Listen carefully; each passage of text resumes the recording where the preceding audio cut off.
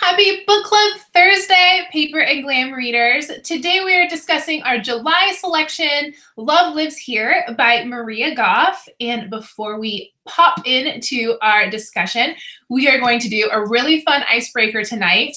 A lot of us listen to the What Should I Read Next podcast, and it's by Anne Bogel.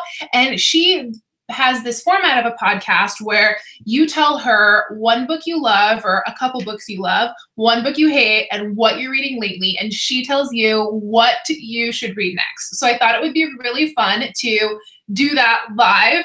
And I'm not going to try to be like the book whisperer like she is. So we all together are going to tell Margie what she should read next. And if you think this is super fun, I would love volunteers for next month to do a little what should what should I read next icebreaker and you can be a of course our, one of our live chatters and those of you who are joining live. So leave me a comment if you want to be on for next episode. You won't be live, don't worry, unless you want to be, in which case I'd love to have you with us. But it'd be so fun to add lots of titles to your TBR list and switch up our icebreaker a little bit. So, Margie, would you like to tell us one book you love, one book you really don't like, and what you're reading right now so we can all fill out your TBR list? Yes. Um, it was hard to pick the book I loved because there have been so many good ones. The one though that I have reread several times in the last five years is Ready Player One, um, which is funny because I feel like that's not my normal genre of like action, sci-fi stuff. But that book was so well written. It was so fun. It was so fast paced. Um, I'm from Columbus, Ohio, so it the fact that it was set there, I could even recognize some landmarks. So it was just really fun. I loved that book and that story. I even loved the movie. Um, even though they had to switch it up a little bit, it was still just, it captured the spirit of that book as well. Um, a book that I hated, which I feel like is controversial, but I just didn't like it, was The Handmaid's Tale. Um, I couldn't get into it. I thought there were parts that didn't matter. I hated the writing. I was just not in it at all. I didn't connect with any of the characters. There was no one super likable um, for me. I just, and I know it's this huge hit thing. I can't even bring myself to like watch the Hulu show because I didn't like the book so much, even though I'm sure the show is great. Um, but yeah, that was one that I sincerely disliked. Um, so before you proceed, tell us tell us why you don't like it. Like what like was it really dark? Did you think it was boring? Like tell us tell us why. I love this book, so I'm super curious. I'm a little emotionally invested, but yeah. it also will help me pick out books for you because I have no idea. So funny. Um, I didn't connect with anyone. I felt like it could have been written better. like the story idea is fine and great. Like, you know, it's an interesting idea and plot, but I the way it moved was too slow and too I couldn't connect the dots in my head. So it may have just been me. I listened to it as well, so I didn't read it. Um like have a physical copy and maybe that was it but i just kept wishing it was over. Like i was like i'm just done. Can we just make this go even faster? Like i'm listening to it on double speed because no part of me enjoyed it. And i don't know why like if it was the season of life i was in or what but i couldn't connect at any level. Okay fair enough. Um right now i just started the Signature of All Things um, by Elizabeth Gilbert. It's her novel. And I started it a couple weeks ago. Um, we're actually reading it for our church book club. So I started a couple weeks ago um, and then put it down because I was trying to finish this one and another one and all of that. And then I picked it up again a couple days ago and like fully got in it and it was invested. And I left it at the house where I was nannying. So I haven't had it for two days. And I'm like, I want my book back. I um, would have straight driven over there. so I was, I'm so sad. I'll wait till Sunday. I'll like, cause I still had to finish this and, you know, other things on my shelf. I was like, I'll be patient. But I, I'm only probably 60 or 70 pages in. And I'm like, I want to know what happens. Like, this is she was just a fantastic writer. Um, all the detail is great. All the backstory to the person who eventually is the main character is great. So, yeah, I'm loving it, but I'm like just starting and I don't have it with me. So, yeah.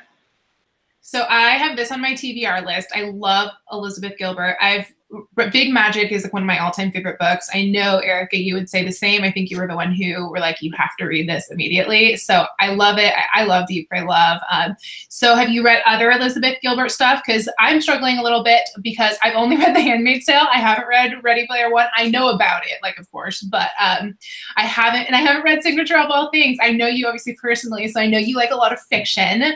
Yeah. But um, tell us a little bit about your reading style, just personally, um, in case we haven't read those books like like me. Right. Um, I feel like I'm kind of all over the place. I just read The One Man, which is a World War II. Um, a guy has to break into Auschwitz and get someone out story, so it's very intense. Um, but I I finished it and I left it um, home in Ohio for my dad to read because he a crazy reader right now. Um, I loved that. So any World War II stories, historical fiction, um, other like fun fiction. I'm also trying to read my way through like Amazon and Goodreads top 100 list. Um, I have some big books left, so I'm a little bit scared about reading some of those. Um, but I am, for the most part, enjoying some of those classics, like trying to read several classics a year. I read Gone with the Wind, loved it. It was probably my book of the year this year. Um, I mean, we're not done with this year, but it's that one's going to be hard to beat. Yeah, that's a killer. We read that together two years ago, July 2016. If you guys are new to the Paper and Glam Book Club, it was a favorite of a lot of ours. So if you would like to read it and then watch the book chat, that would be so fun. I, it's one I want to reread for sure. Sorry, go ahead, Margie. That one was fantastic. So I feel like I'm all over the place. Like I love my summer chick lit. I've definitely read some of those this year. Um, even the crazy like I watched Jane the Virgin and then read the book because I was like, I just want to. It's cute. It's fun. It's whatever. So all the way to like you know, more heavy hitters or whatever. So I feel like I'm across the board. I'm normally not a huge sci-fi person, um, but I did love Ready Player One. And the new one out, my husband just read. I haven't read it yet. Children of Blood and Bone. Um, okay. Yeah, and he loved it, and he devoured it, and he doesn't normally do that with books.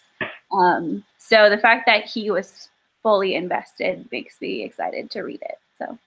Yeah, that one's been on what should I read next quite a few times actually recently. And the book that is coming to mind for you is have you read the Guernsey Literary and Potato Peel Society? I never have. And okay. everyone's told me to. My okay. mom is probably ready to beat me up because I haven't read it yet. But okay, well, time is now because it comes out on Netflix August 10th. So oh, okay. Like, and I know it's small. It's not very big. Like no, it's like tiny. Be able to read it in a day. So I do. I'll put that one on my list. Yeah, that I think you would love. I'm like halfway through it. I'm I'm in the middle of about four different books. I'm in the middle of a Jen Lancaster book, Handmaid's Tale, that book, and um, uh, a book about dogs because um, I just love dogs. I'm obsessed with Sunday. She's my life. Anyway, all right. So, who has a suggestion for Margie? I am so excited to see what you guys think. So many of you are like super readers. No. Um, I have one. Let so, okay, I wasn't sure, like, because I know. Yeah, I'm sorry. Sorry, dumb. I'm dumb. Uh, so I, I had two thoughts, and you said my first thought, which was um, potato pie, whatever, like the long title is. Yeah. And the other one that came to mind was the Poisonwood Bible by Barbara Kingsolver, and um, it's about a missionary family in the Congo, and it's all of their daughters' perspectives. I don't know if you've read it or you're familiar with Yes. it. Um, that's one of my favorites.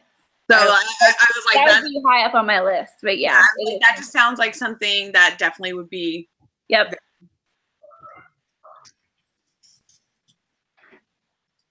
Sorry, I was shouting in the comments, seeing if anyone has any suggestions. Okay, you guys, we got to get Margie some some thoughts. Erica, you are you are like 300 books a year, girl. What about you? I'm putting you on. Margie, do you like do you read series or do you like standalones? Are you okay with series? Yes. Okay. Both. Um, the one series that I thought of for you, um, just because it's kind of not really apocalyptic, um, but it's a little bit dark, but it's fast paced. It's sci-fi, but I enjoyed it, and I don't enjoy sci-fi either. Um, it's the Unwind series by Neal Shusterman. It's YA. Um, it is about.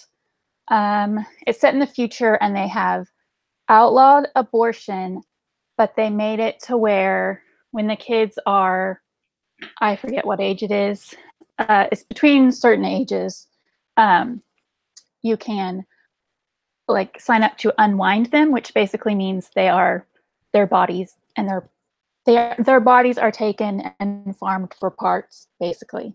Um, and so it's about like three different kids that are selected to be unwinds. They escape and then kind of what happens to them throughout the next couple years or so. I don't the whole series is four books.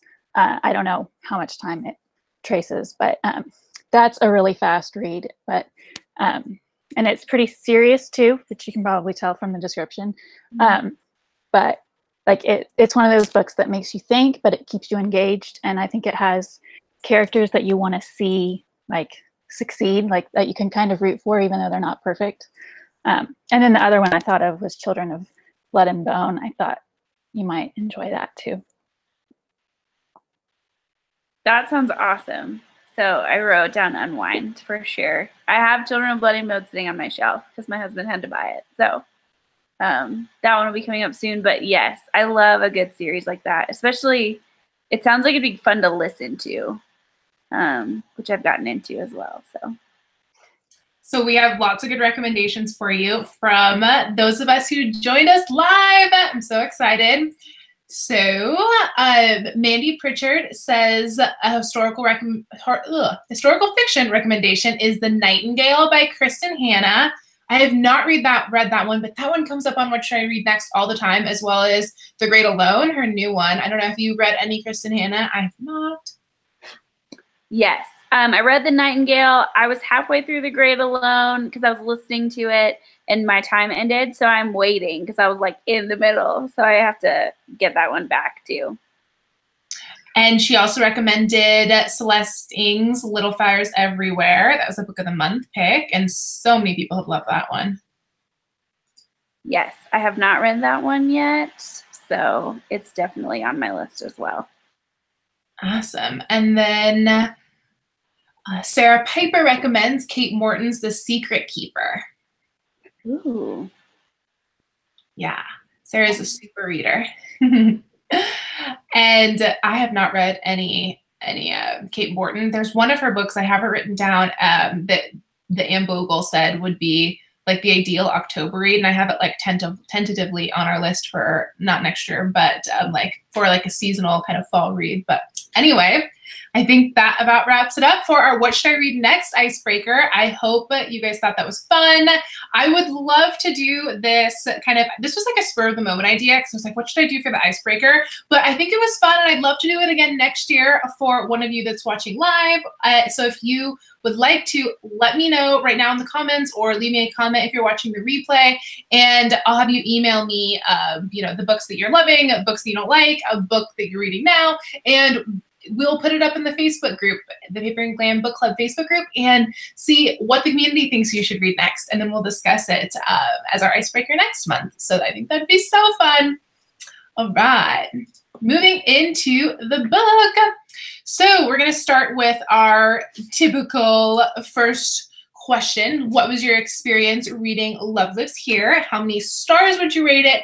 And if you read Love Does or uh, Bob Goff's new book, Everybody Always, how did you think they compared? So I guess I will go last. And I know book chatters, I did not paste the order. Let me do that now. So can I toss the floor over to you, Margie? What did you think of Love Lives Here? I really enjoyed it. Um, I think I gave it a three on Goodreads, which sounds harsh. I think I would really give it like a 3.5. Um, mostly just because of the writing. Like I can kind of tell that she's not a writer. Um, and so I almost think it would have helped her to have someone who was a writer. Um, and I noticed she had editors and stuff, but I think I got hung up sometimes on like she was a little bit repetitive of certain things, but I loved her. Like I feel like she came across well and what she feels is like her life mission with her family and her home. Um, and I loved that. And I did really appreciate her stories and she had a lot of good like quotes and one-liners um, that were great.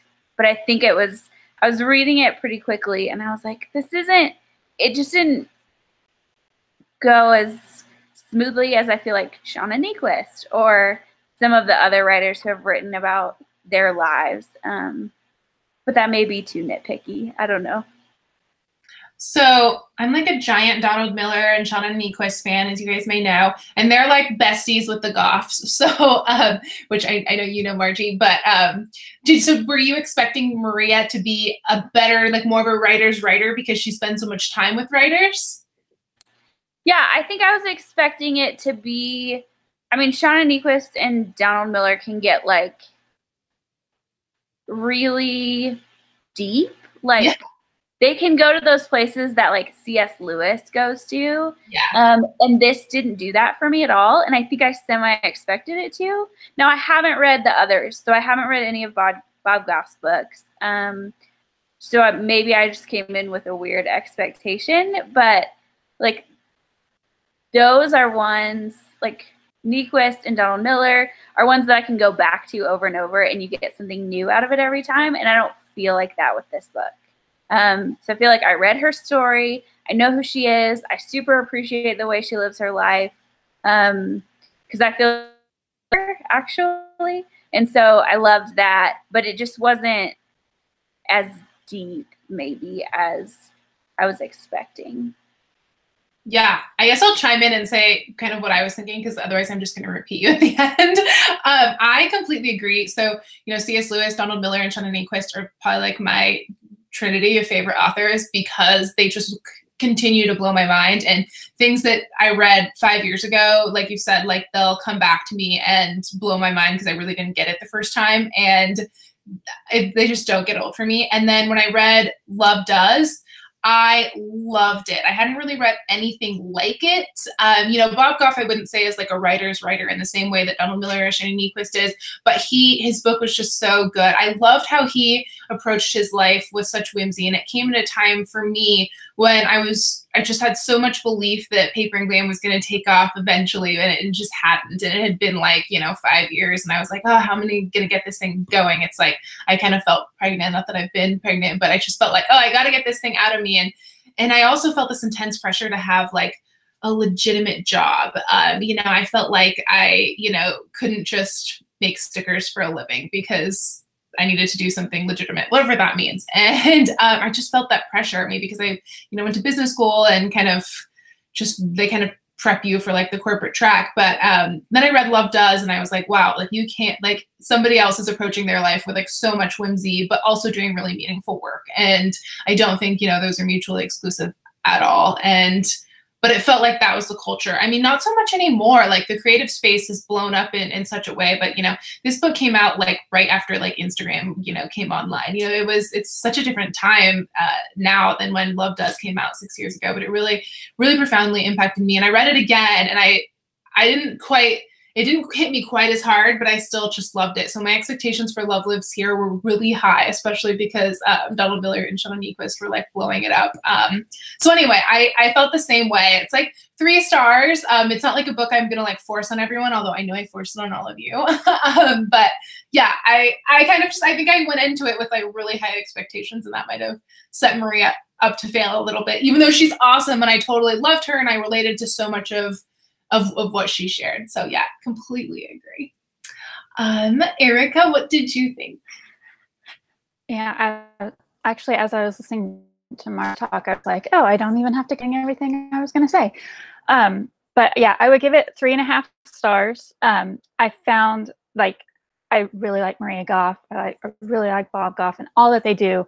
Um, but even with like I've read Love Does, and I felt the same way about his. Like the stuff that he's saying, I'm like, oh yeah, that's good.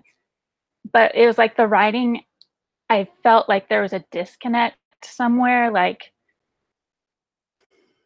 trying to think. Uh almost like well, what I noticed but with this book, I it's been so long since I read Love Does. I'm not gonna try to um talk about that book. But um this book, it was like within each chapter, like she'll start off with a metaphor and then she moved on to other metaphors. And I understand like what she was saying, but it was like the metaphors almost pulled me out of her story a little bit rather than pulling me into it. Um, and so I, I just didn't feel like I was connecting to the story as much, even though I was connecting to her as a person. Um, like I didn't necessarily um, feel invested in like okay well i have to see what happens next. Um, i need to like know every part of this story that she's telling about her life. Um, i thought it was good. I enjoyed reading it um, which is why it's like a three and a half. You know i liked it. Um, i'm glad that i read it. Um, I, I it just wasn't a book that i like fully with like a lot of other books that we've read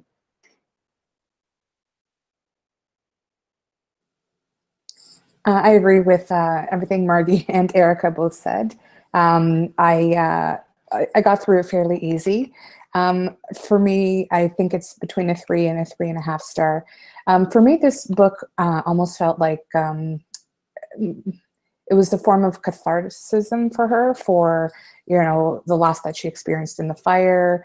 Um, I, it was almost like um, something someone would write to try um, you know, a little bit of a as a therapy tool to kind of get her feelings out there, kind of um, uh, try to deal with it and try to understand how she's feeling about it and kind of process it. Um, that was kind of the sense that I got out of it. Um, you know, obviously, uh, we've all suffered loss. Um, that part is relatable. But uh, yeah, I agree with what Erica said. I don't think it's something I'll go back to or or necessarily force on anyone like I would, you know, obviously cold tangerines or something where, you know, anyone you talk to, you have to tell about that book. But um, all in all, like I said, it wasn't too hard to get through, but um, you know, it'll it'll it'll find a spot on the bookshelf, I guess. Um, yeah, I give it two and a half, three stars too. Um, nonfiction. This is like one of the books written books written like this are why I'm like ah, nonfiction is just not my thing. It's because so much nonfiction is written kind of like this where it's just like you can speed read it it's just a lot of platitudes and anecdotes and i'm like that's nice i can talk to my friends and find out about their lives too and um i don't know and, and it's hard because i'm reading a different book at the same time i started it before and it's it's also a Christian author, but it's um like it's very applicable to like something that, to like dealing with my son and how he's different and it's written by a mother and a son and he has all of these he's an adult now but it's about like raising him and that's written so strongly com- like compared to this. So i think reading something at the same time that is um a little more deep and meaningful and goes to some of those places um, especially like the part that's written by the son in that one. It, it makes it like, oh, this one was like, it's not fluff, but it's just like those are some nice stories, which I think sometimes, in my experience with Christian nonfiction, happens. Like there's like a lot of nice stories of how we apply God in our life, and that's what they are. And they're great stories for us to read. That way, we know we're not alone, but they're not like the C.S. Lewis deep, um, theologically strong, poignant things.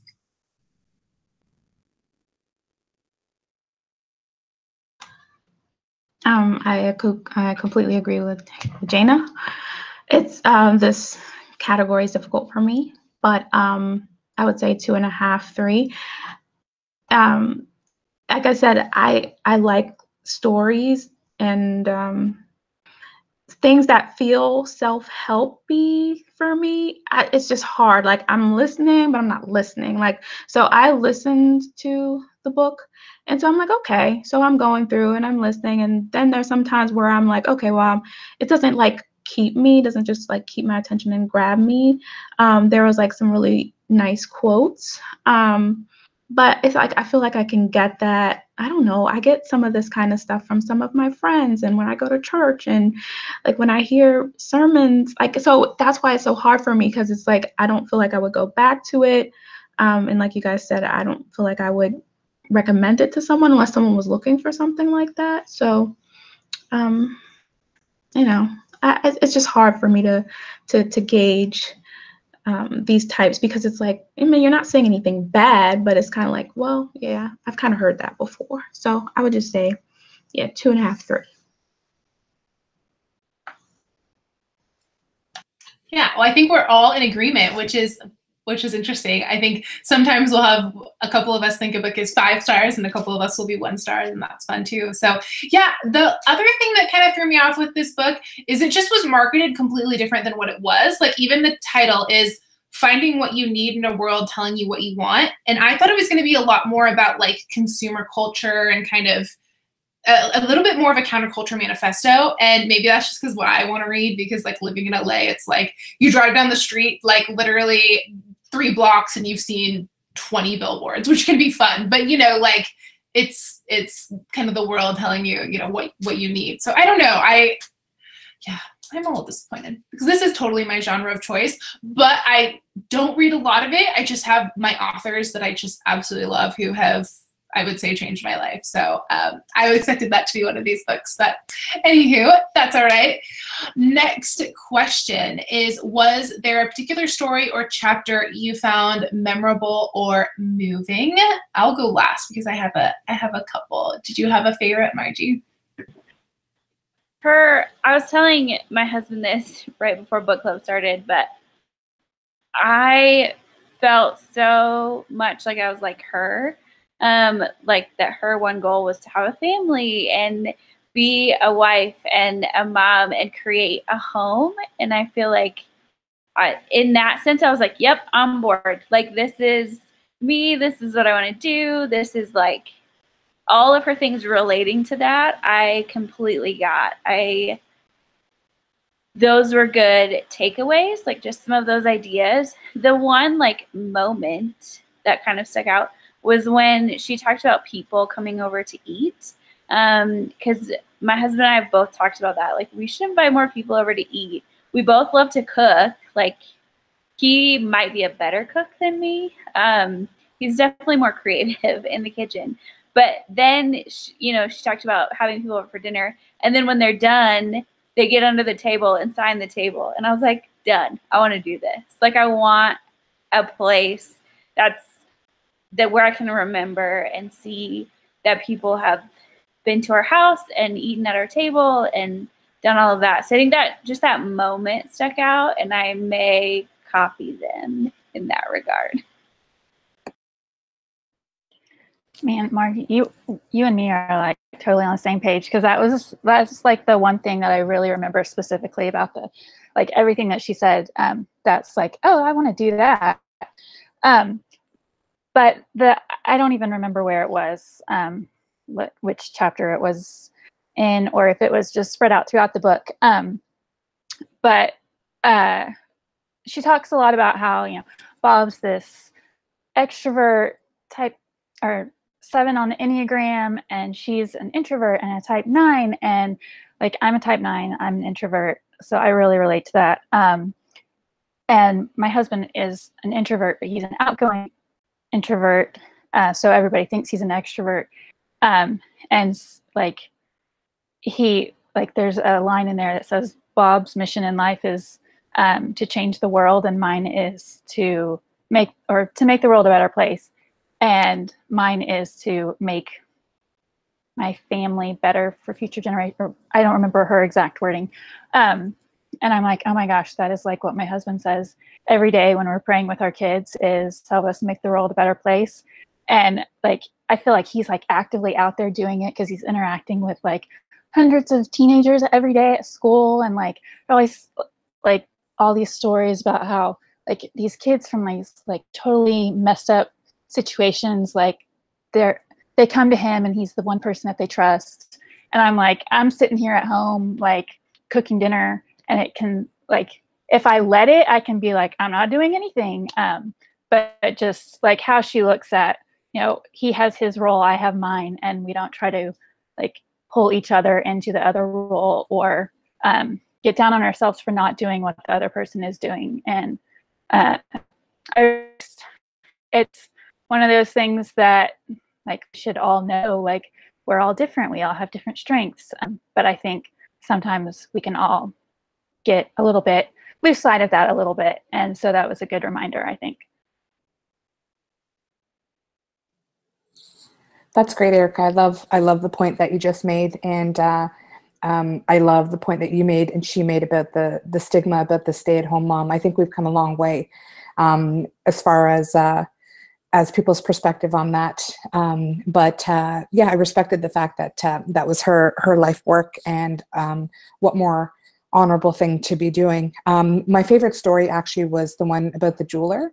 Um, I thought there was some uh, wonderful points in here, and I actually really really love the the little story. It was one of one of the shorter chapters, but it was really good. Um, no spoiler alert, alerts or anything. Like no spoilers. Um, if you're going to read the book, I think this is uh, this is one that uh, that you might appreciate it. Might appreciate, and it speaks a lot to uh, to again loss. But I found this book really to be about loss and how to deal with it and how to recover and how uh, to kind of get past things. So um, yeah. Anyway, I thought uh, the jeweler was a great chapter. Great story.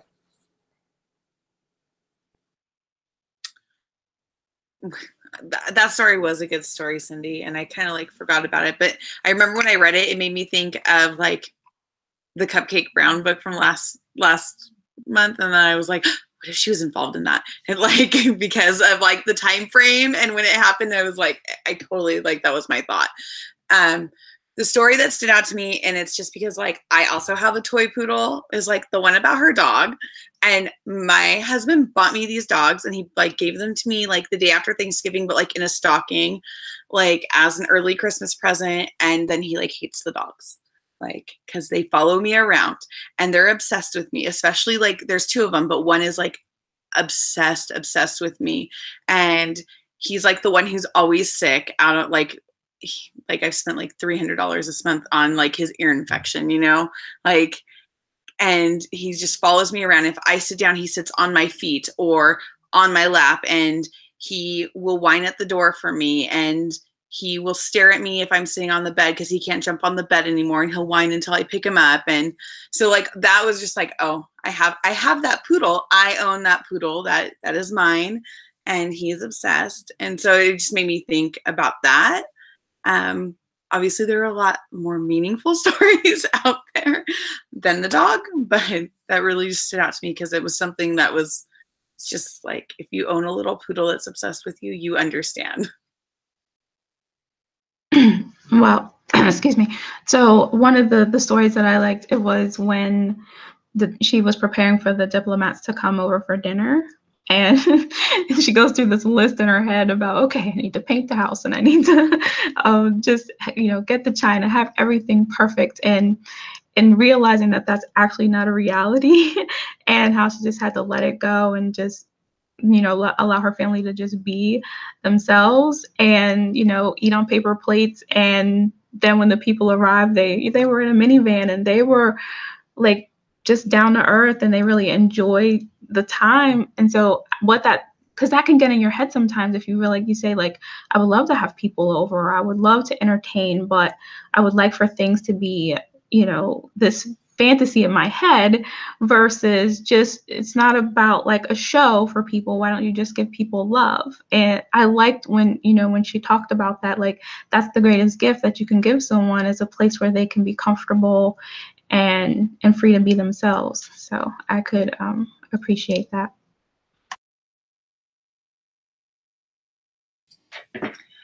I definitely related to the chapter on rest. I know you guys have probably heard me talk about it, you know, for the longest because I feel like, you know, I'm just now learning like a sense of being. And that's just not something that was ingrained in me as a child. You know, um, I come from two parents who just have like off the charts work ethic. And so that's to have that down, but like the resting and the sense of being is just something, yeah, that I'm learning now. And there's just so many great, great quotes in that chapter. I mean, I read it twice because I just, I just love so many of the things that she thinks about. She talks about rest. You know, and we think of rest about being about like in Sabbath, about being like what you do and you don't do, and not from like a rules perspective, but you know, we think about like not doing things basically. And um, she says, on page 198 it isn't she says rest isn't found just in the things we do or don't do. Often it's best experience it experienced in the familiar rhythms of our lives. The sights smells and sound in our places of calm have a way of nurturing our spirits. I buy the same candle from our favorite hotel every time we're within driving distance of it. The reason is simple. It reminds us to rest so i light it in our home in the evenings. Finding the sights and smells of rest heals our souls and fills our hearts. Again, this is because it isn't just something we find, it's a place we create. We relax where we feel safe. Find those places in your life and make it your rhythm to go there often. That struck me so deeply because, you know, with my seasonal living lifestyle, you know, it is restful for me to like decorate my home and light a candle and, you know, lay down and just like read or like journal or whatever. And that's such a beautiful image of rest. You know, rest can be a, a space you create. It doesn't have to be, uh, you know, just what you do or don't do. So I thought that was really, really beautiful. And there was a few other beautiful quotes in that in that chapter too. All right. Uh, um, and then we'll just we'll talk about quotes because I can not go a book chatting session without getting my highlighter out and stealing all your favorite quotes and sharing my favorite quotes. So if you feel like you already said it, feel free to take a pass. But if you have a favorite quote, I would love to hear it. Margie, what was yours? Um, sorry if I steal this because I feel like it might be a popular one, but Erica, I'm also a nine on the Enneagram. I feel like we're kind of the same person. And this one resonated with me as an introvert. Um, and it was on page 134. She says, Do more of what you're good at and less of everything else. And I think that's harder for introverts um, just because you sometimes feel like you have to live up to this pressure of like these feel like all your heroes in America are like extroverted and perfect at Instagram and like all these things. And I'm like, I'm not good at this. Like, I'm not even good at things that lots of people are good at. Um, and so it's coming back to that. What am, what are the two things, even if there's only two that I'm good at? Those are the ones I should do all the time and then when I have to, you know, fill in with regular life stuff, I'll do that. Um, but I really appreciated that. Like, if that could be my life motto, I feel like I'd be a much more content, pleasant person to be around. Uh, I had quite a few where I highlighted it, um, but I think going back through them, I think this is the one that resonates the most with me right now, and that um, I don't even know where this is because I'm on the E E version of it. Um, let me see if I can figure out what she's talking about here. Um, oh, I think it's when she's talking about um, having like other people in her life to like be her board of directors. I think it's that chapter. Um, she says, availability is the best teacher and love is the only lesson plan we need. Um, and that just resonated with me because right now um, I'm doing a lot of like reflecting on community and building community and um, like like building like a family of choice basically. Um, and like I feel like just remembering that you know just being there for somebody is um, and loving them the best that you know how to is sometimes all you need um, to like really be a true friend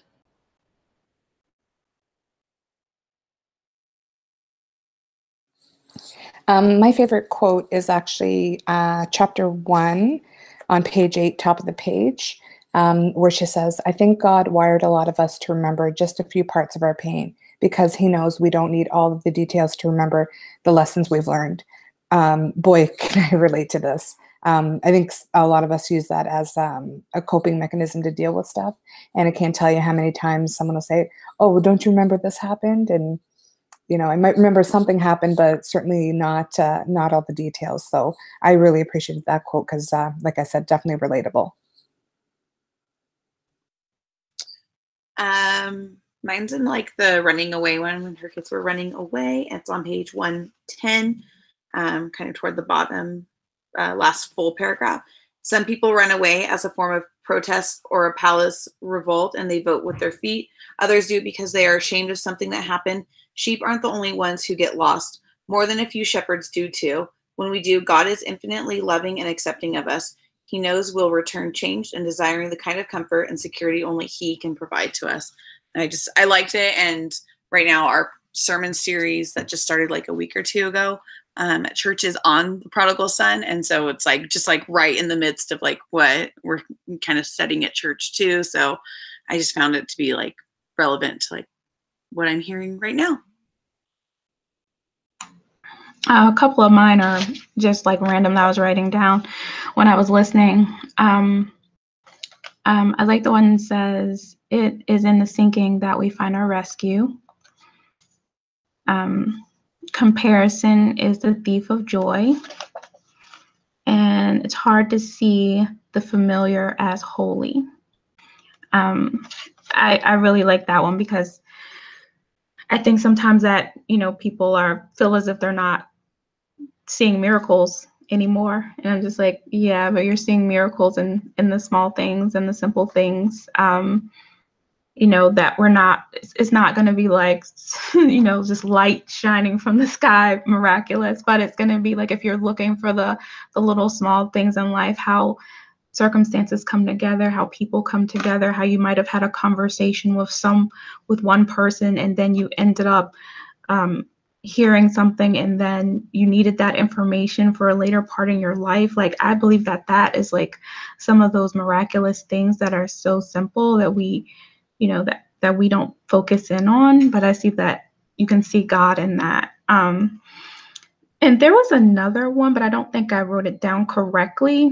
Um, but it was something like hearing lies about ourselves keeps us from seeing our true selves.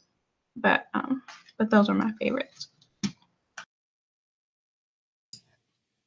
I really liked the epilogue. I thought it was really cool to hear from her kids. And, you know, I just, I love the lifestyle that Bob and Maria lead. And it was kind of cool to hear like Maria's take on some of the stuff that was in Love Does. But um, so this is kind of around, around that same this is very love desi, but um, one of the kids, one of the boys, it is Adam, says, Everyone who is older might look like they have it together, but actually, most of them have no clue what's going on either. And I was just talking to one of my best friends in LA. She owns a business here in LA, and you know, we were just talking how about how you know it doesn't matter how old you get, you always feel like a kitten driving a Barbie car, you know, and it's like you expect when you're younger to wake up and like have it all together one day, and like you think everybody has it figured out, and it's like, no, it doesn't so much come with age, maybe a little. and then it says, um, the reality is that we are all more capable than we realize of creating a life of whimsy and adventure. We're not flying without a net because of the community we have and the opportunity to cultivate one if we'll take the time. That's the mindset I've grown up with. Take risk, say yes, fail big, and change the world. No matter who you are and where you are, you're never flying without a net. I loved that you're not flying without a net thought because, you know, even if you don't have, you know, someone in your life to catch you you, you know, whether that's like financially or physically or, you know, or what you, you know, God really is gonna gonna catch us. Like He is the net, and it really also this book really inspired me to really cultivate community. And I've been saying I'm going to do it for years, but since I moved to LA, I haven't really been successful. Not for lack of trying, it's just it's very difficult to cultivate community in LA unless they live within like a five mile radius of you and they're like in the same season of life. It's kind of tough because everyone's just kind of busy and like running around and like living their own dream. It's it's yeah, it's it's something that's really challenged me since I've um, moved here, and it's kind of a a book that inspired me to to recommit. So yeah, on to the next. So the next question we kind of talked about already, so I'm going to skip it. And it was how did the structure structure of the book affect the story? And I stuck that one in just because you know, like we had been talking about, I felt like this book would have been excellent with some structure. Like when I think about Gretchen Rubin's book, The Happiness Project, and you know gretchen has said this herself. What made that book was the structure. She had like something that she worked on every month of the year and maybe that just really resonated with me because that's who i am right? Um, but like the structure made that book. And she talked about gretchen talked about how you know she spent like a year coming up with the right structure for that book because she thought it was crucial. And reading this just made me think a lot about that that just like structure is everything. And i just oh i just i just wanted more for this little book. I feel like similar to uh, Into the Water. Like I I wanted more from that book. I wanted like yeah, we like we talked about. I wanted like witch trials and all this all this stuff be worked in more. And then it's kind of like, wait, no, what? all right. So the last question: Did Love Lives Here inspire you um, to, you know, incorporate something from Bob and Maria's life into your own? So, like signing the table, for example. I thought that was so beautiful as well, and and just like they have such a beautiful way of injecting levity into their life that I would just love to emulate. You know, I can take things too seriously. And um, you know even having like a very whimsical job you know it's it's still it's still a lot. Um, of course you know there's like production budgets and of course you know uh, you know payroll and all this stuff. Um, but i just feel like every it feels like every day they do something that just like brings that lightness to the surface and i need more of that and that's perhaps why um, these books resonate with me so much. So there's so many. I know one of you said that you took notes for when you have your future family and i felt the same way. So um, besides signing the table margie did you have any um, moments where like i need to do that. That's such a cute idea yeah it wasn't one thing. It's more of a way to live your life. Um, and it's actually something i've thought of and talked about before. I had a very good friend. I have a very good friend who, when her sister got married, she said, You're signing up for your marriage and no one else's. Um, and Maria kind of said the same thing. It was go be your family, not someone else's. So, like, that I think comparison is can be my downfall. Um, and that is a huge hurdle I feel like I have to overcome. And so those reminders of like my marriage is special and it's my own and it doesn't need to be like anyone else's. And my future family is my own and it doesn't need to be like anyone else's. And the fact that someone's is different is awesome. They can be their own family and they don't need to be like ours. So I think just that constant reminder um, is something that I want to implement and need to like remind myself of daily.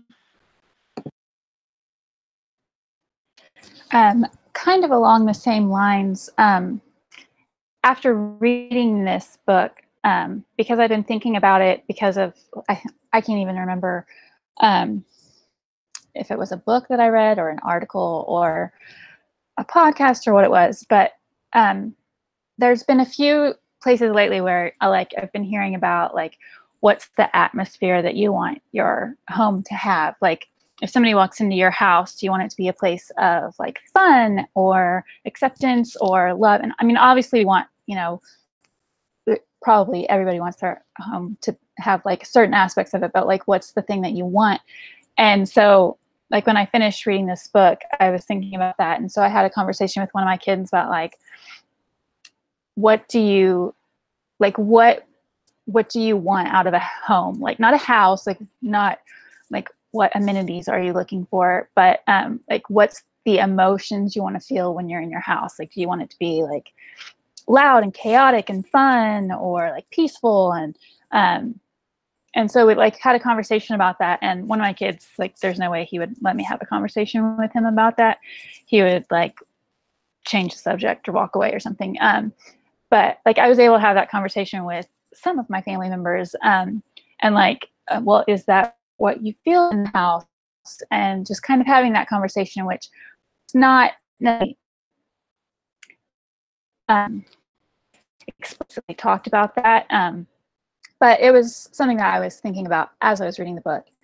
Um, and so it inspired me to have those conversations with my family and um, like think about um, creating somewhere where you know people will say that the title of the book like that's where love lives and somewhere that I I want to be, um, especially the people that you know live here um, and are here on a regular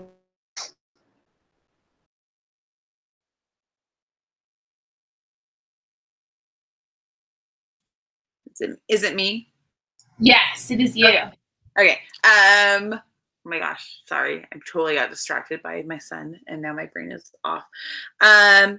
I think the thing that I took away, which is something like I always like want to do, and I feel like how come which I know like we're not supposed to be like comparing or whatever, but like it seems like so many of these writers like have like a specific va- vacation spot they always go to, or like like this you know like something they always do. And I I've always kind of wanted like a vacation home.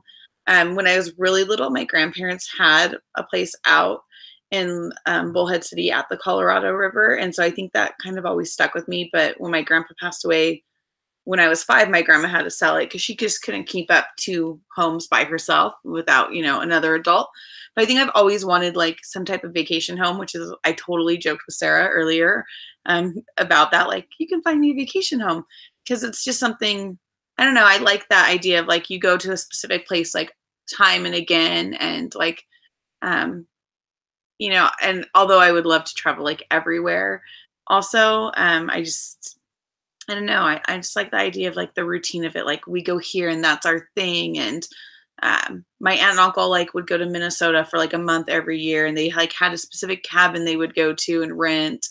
And so I, I think that's something I'd like to take away. I, I mean, obviously, I don't think I can buy like a giant piece of property like they did and build a lodge.